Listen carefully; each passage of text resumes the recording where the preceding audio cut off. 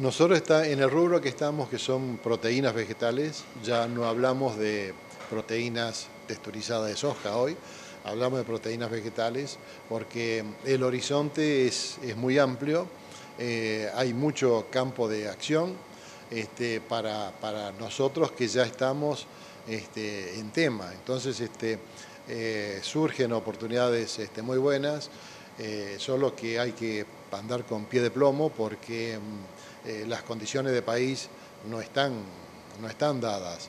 Para que te des una idea, nosotros el año pasado importamos este, una materia prima de China, este, donde con los chinos no teníamos problemas, teníamos financiamiento, este, porque a la vez nosotros lo volvemos a exportar y también tenemos que dar plazo, de manera que nos venía bien y a partir de ahora es únicamente anticipado.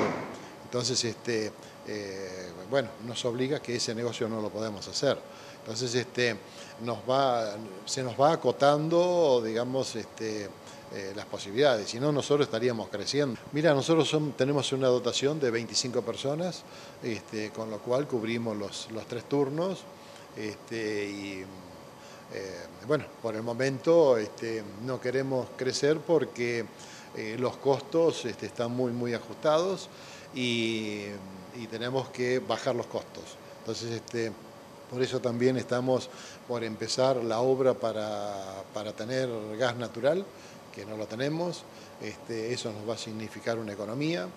Este, y luego tendremos que pensar en generar energía este, alternativa mm, para también ver de, bajar este, nuestros costos.